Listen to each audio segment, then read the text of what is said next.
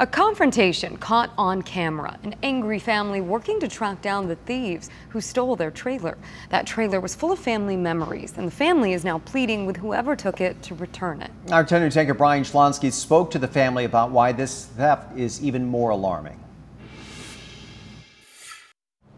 you feel violated. Cindy and her family can't believe it's gone. Tons of family memories. The grandkids are devastated it's missing. The 32 foot long 2007 Cruise travel trailer. It even has a back door. The family was going to go camping this weekend, but parked at a family member's house, surveillance cameras captured how it disappeared. These guys pulling up to the Ramona home where it sat I asked Cindy if she's watched the video. We have, and it's gut wrenching.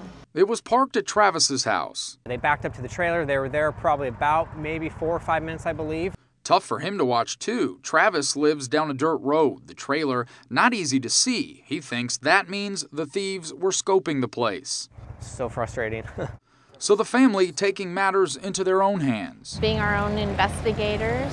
Especially after their personal items started showing up on Craigslist. Spending another day, this is our third day, trying to find the trailer, trying to find out more information about the people who took it. We were there as the family tried tracking down one of those leads, the man in the Chargers jersey selling what the family says is the trailer's hitch. We've blurred his face because sheriff's deputies haven't confirmed to us this is their suspect.